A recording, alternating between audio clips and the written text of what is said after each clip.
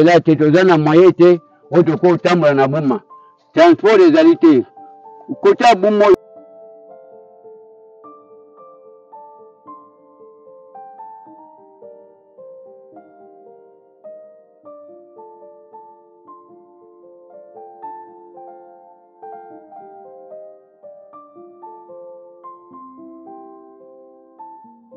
mawa na buma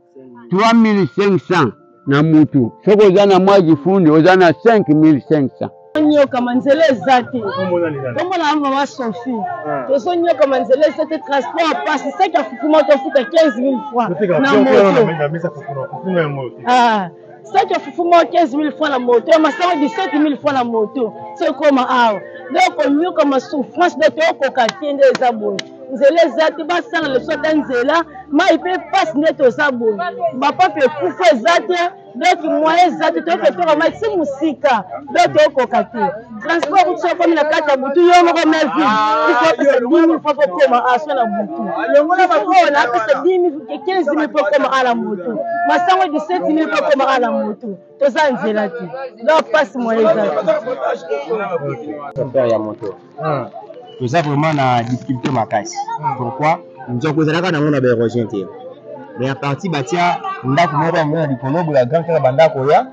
nde ebebisa nzela oui ndako ya mashita kinzulu ya kizenga hmm. donc nzela na biso ezalaka bien aparti atonga ndako na ye koto oyo nzela ekoma yango abengebene alors asiraka biso batia mpe baterase babanda place epa na ye mekoma niveau abuma esuka na kar niveau ezali bamonaka yango bayaka mpe dernièrement auti akoya awa na otia fleur na ntongo na ye baleki bamonaki nzela tobekaraki baza na vomo population eza ebele koto oyo mais toza mal entretenu mal sécurisé na bakoni na biso bosalisa biso awa vote ezoya awa mingi bokoya awa vote ngai vote ngai mais tokovote na ndenge tokovote mpo na thomson te tokovote mpo na mosoire te mpo na triko te mais tokovote oyo na action oyo bokosala biso soki bosaleli biso nzela bosalisi biso mai courant bosaleli biso makambo kitoko awa nde biso mpe tokopesa bino bavoi malamu aller retour nga nafutaka soki nake nazongi nafutaka 2000 fois kote nakendeke nakendaka koluka merci beaucoup to tolandi bino ya koleka tala bato oyo balobaka baloba nzela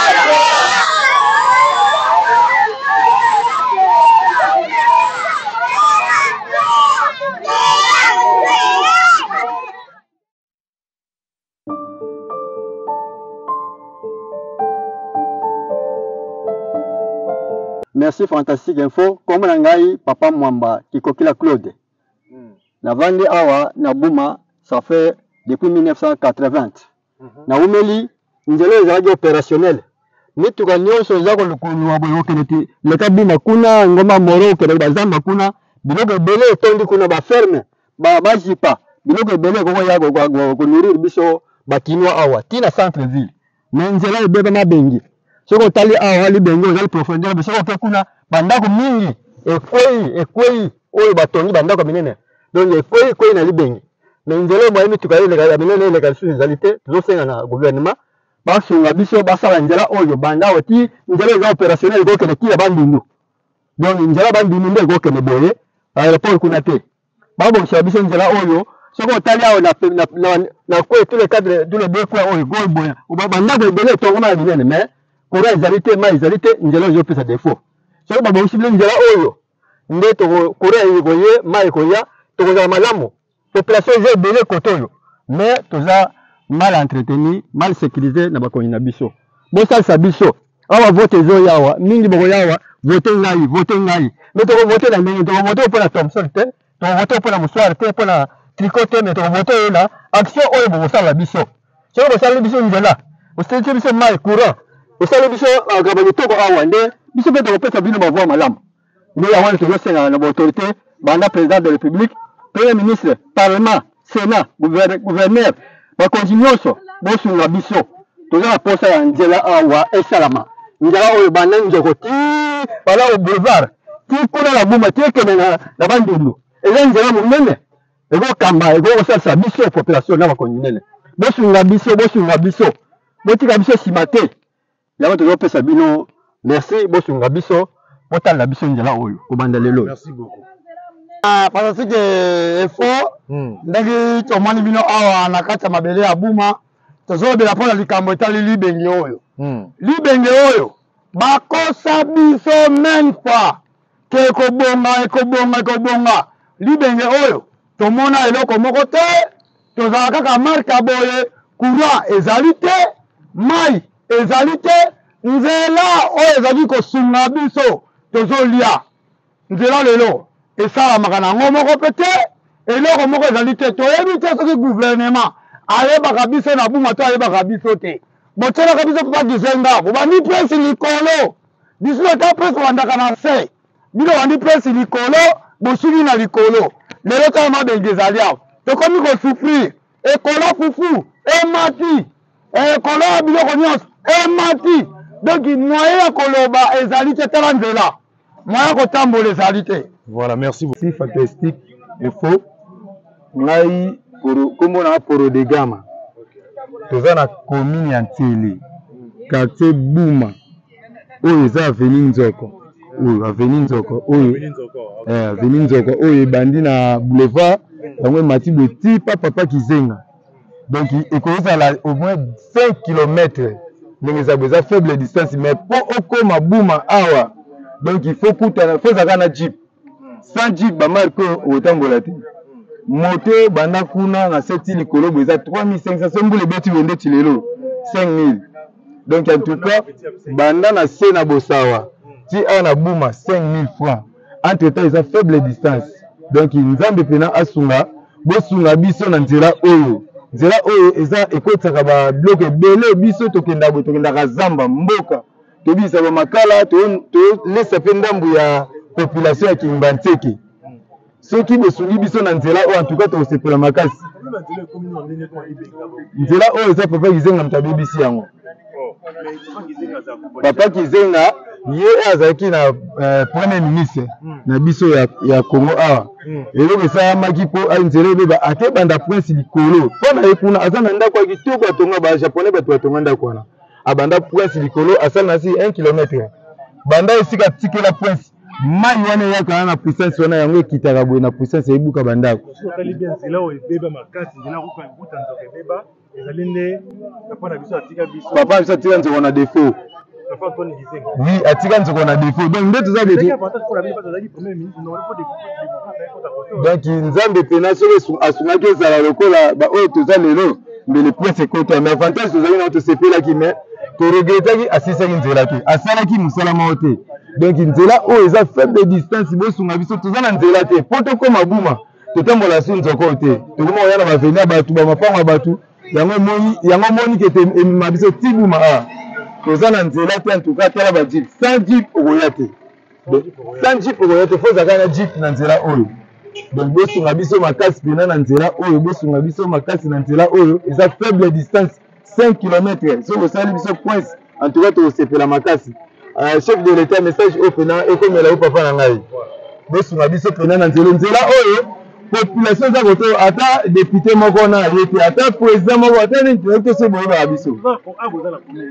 eza ka komi na nsele kishaset komi na nsele donc toza na komi na nsele rut bosawa nzoko okoti oti na buma precisement toza na buma epai ya chef nene mayes mboka na ye yango quartier na ye yango oyo donc efongwamaka me mwa ndambu me moto atielaka biso mwa lise koto aza te papa president soki otieli biso liste kote oyo tokovote yo makasi en plus nkombo ya nzela oyo ekoki kochange ekomi nango mpe nkombo na yo tiela biso ata ekomi nango fati fati beton donc sunga biso mpena papa voilà, merci beaucoup, message de la, de qui n'a pas ta Voilà, maman Sophie. Fantastique info ekiti awa sur le terrain ya kotala ndenge nzela ya nzoko eza kolimwa. Alors yo olobi nini pona likambo oyo? Ngai nalobi papa leta talela biso likambo oyo tala ndako na ngai ekei njoko tokufi toza na nzela te libengi eza na kolia biso nzela nyonso esili leta tala biso na njoko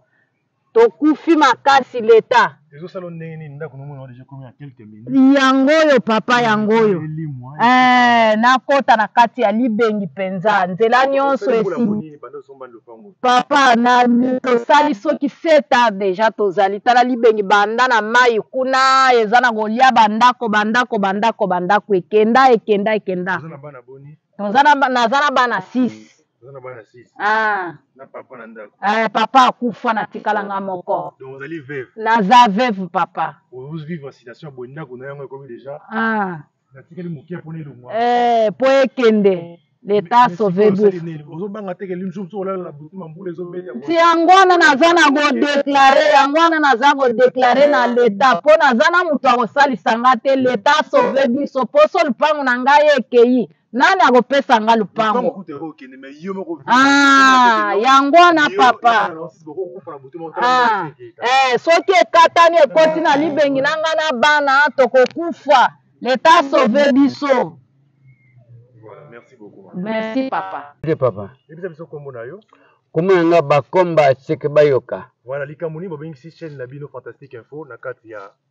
Route ya Nzoko.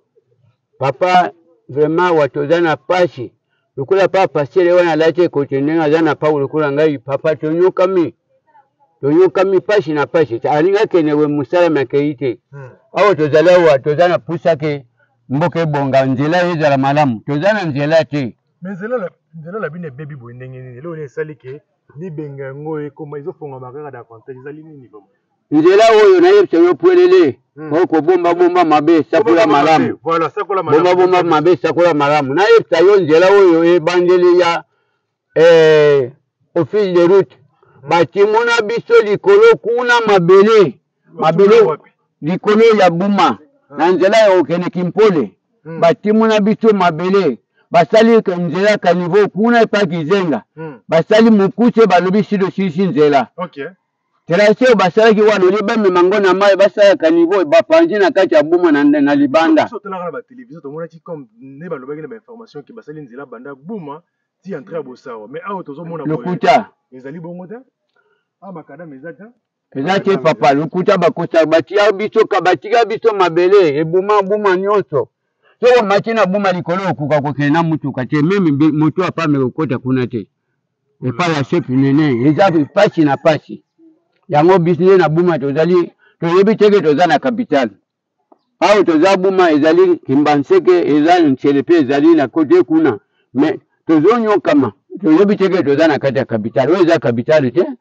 voilà oyo eza capital te yo osali mbula boni banda ozali na buma banda nakoloba na yo banda 80 76 eh, ans banda na 76 na lelo depuis 1976 eh, déjà kati eh na lelo omoni nzela ndenge ezalaki est ce que nzela oyo ezalaki mabe boye banda kala te kala ezalaki ezala mabe ndenge wana ndenge mpatilias kizenga atungi ndako kuna likolo baza kokende ti bamboka mingi na mituka milelo mituka banda nzoko yoba bazalaka nzela ezali mais parce que bino nyonso bozokize kaka ke non le fait patriage kizenga moto abomi nzela Kizenga abomi nzela te, nzela hmm. ekufi na office de route. Office de route na office de route abomi nzela oyo aya kosala na ntango ya Andre Kimbuta. Kimbuta hmm. yango hmm. na premier ministre muziki hmm. Adolphe yango nde nzela oyo tomoni changement ebe echange ekomi mabe. Papa yo ozali mokolo, nalingi otala kamera na biso na miso ya kofongwama, o adresse na ba ndeko na ba autorites oyo bako trouver bino solution pona likambo ya nzela oyo. Olobi na bango message nini? Natini message na ba bakonzi ya mboka. Hmm. Nalobi bino bosala biso angele po bato bakimi bandako ekufi ebele. Toza na nzela te, toza na moyen te oyo tokotambola na Boma. Transport ezali te. Kota ya bomoyo, biloko mingi ezo wuta zamba, ewuta bandundu, ewuta ba kongo, biloko nionso elekaka awa na plateau oyo batekeli kota likolo. Yango papa sikoyo tokomi kolia na pasi, sakombe ya masangu ekomi 1000 francs, 1500 sakombe moko likolo ya nzela. toza na pasi moto olungwa bosau toekuma wana buma 3500 na mutu soki oza na mwa kifundi oza na 5500 alo toza na kinshasa te mbongo yango wana eza mbongo biso oza na yango misala te tokozwa yango wapi tozosufi na bana classe Voilà, merci beaucoup, message eleki. Abela Bumba, Bumba akomi na nsele, nakoma nanga Kinduku Kesi, nazali chef du village ya Bumba Centre, Bumba Centre, Bumba de Bumba Centre. Toza na nzela te, tala bamoni banyokwama kolongwa kokende kuna na moto tofutaka 5000 francs tobima na prince na nzoko. Tala bato, tala nde bana bazonyokwama soki moto eza te. bana bakosala eloko moko te tala bamama tala bango ye tala bamoto moto afuta biso 5000 franc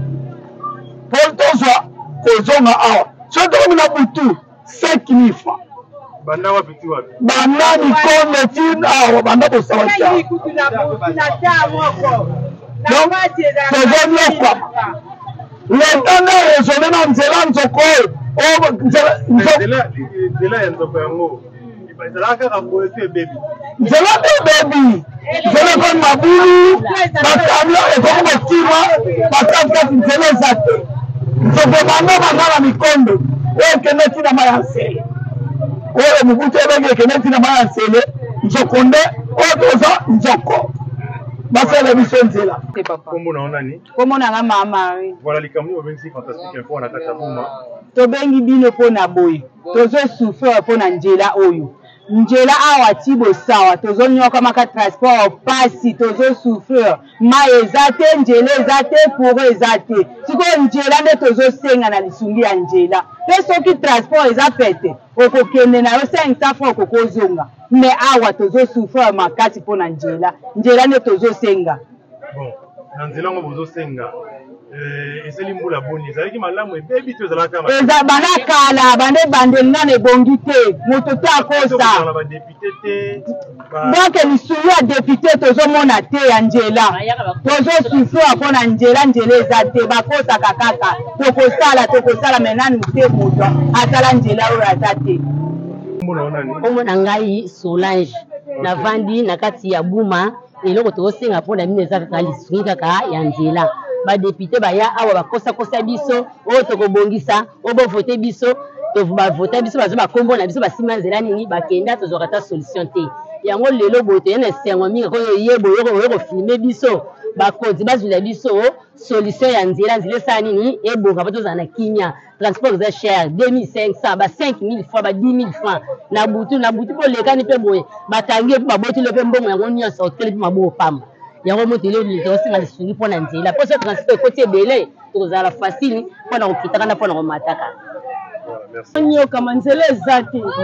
kombo na mama sofi ah. tozonyokama nzela eza te transport ya pasi saki ya fufuma tofuta 15 000 franc na moto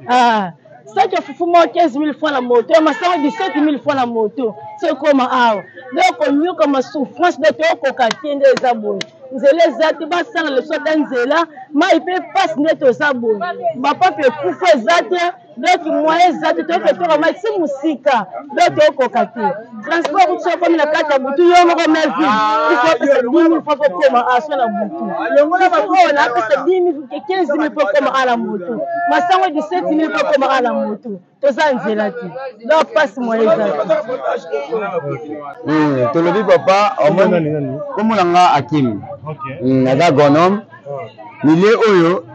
eza milieu moko ezo produire ebele na kinshasa bakomi na kati biloko ezowuta kote biloko ya fresh ewuta me tala nzela papa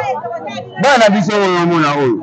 baza na difficulté komema mwana na kati kuna olukele mwa eloko tike awa ya moto 2500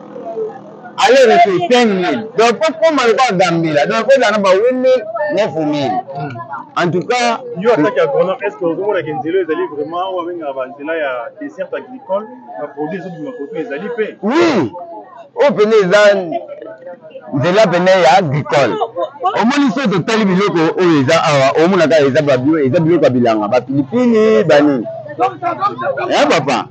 en tout cas soki bokosunga biso biso tozosenga nde intervention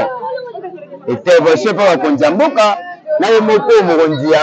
numero 1 fati ayede biso biso toza na mposa ya nzela kaka papa tozosenga bilamba te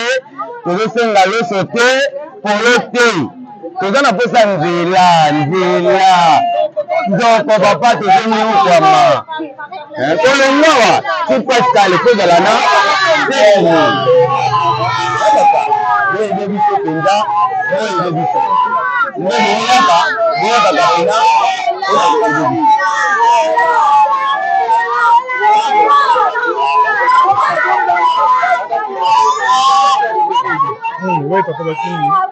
Oui, bonjour. Bonjour. Nga komona nga yebi wa naza chauffeur ya moto. Ah.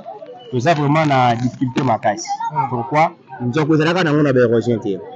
Mais à partir batia ndako moko ya mona likolo boya grand kaka bandako ya nde ebebisa nzela. Ndako nini batia? Oui, ndako ya machita kinzulu ya kizenga. Hmm. donc nzela biso ezalaka bien aparti atonga ndako na ye koto oyo nzela ekoma na mwa bengebene alors asiraka biso batia mpe baterase babanda prince epa na ye na ekoma niveau ya buma esuka na kar niveau ezali bamonaka yango bayaka mpe dernièrement obi akoya awa na otia fleur na ntongo na ye baleki bamonaki deja todekaraki meme baza na volonté ya kosala te na bakonzi ya mboka tosengi kanga bana basenga epai ya papa na donc ya na comprehension na komikitisa soki bakokanisa biso na nzela oyo ya malamu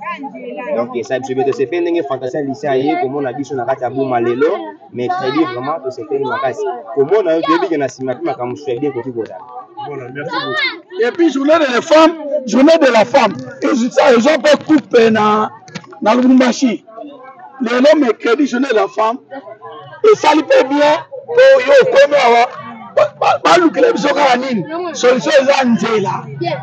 tolala nzala tolia me nzela soki ezali biso tokodeklare su na guvernema te kaka nzela na biso kasi na mposa nzela eh, dofe na biso kizengi ndako na eza koto mozolo ne mpe eza koto toluka kaka nini nzela tala bamama ndenge bazotelema tolongwa abima kuna so akomi na butu 5000 fois 6000 fois aller retour nga nafutaka soki nake nazongi nafutaka 10000 fois kote nakendeke nakendaka koluka merci beaucoup to tolandi bino ekoleka tala bato baoyo balobaka baloba nzela